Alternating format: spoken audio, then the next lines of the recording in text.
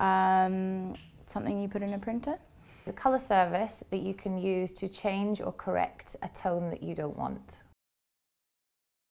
I would say warm. Both warm and cool shades can be complementary depending on the client's skin tone, eye colour, natural hair colour. I think he's got a pretty good balayage situation going on. We regard highlights to be done with a foil service, whereas balayage tends to be regarded more of a freehand blonde service. No, I don't think it does, does it? If done properly, it will not make your hair fall out.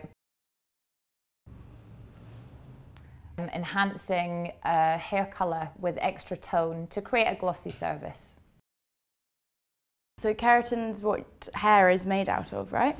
It is a way of just helping to strengthen and improve the condition. It sounds like some kind of martini or something. Placing different shades one against one another to create a twist or something that's more playful. A Steak? A partial set of highlights. It's placed within the hair in a T-shaped section.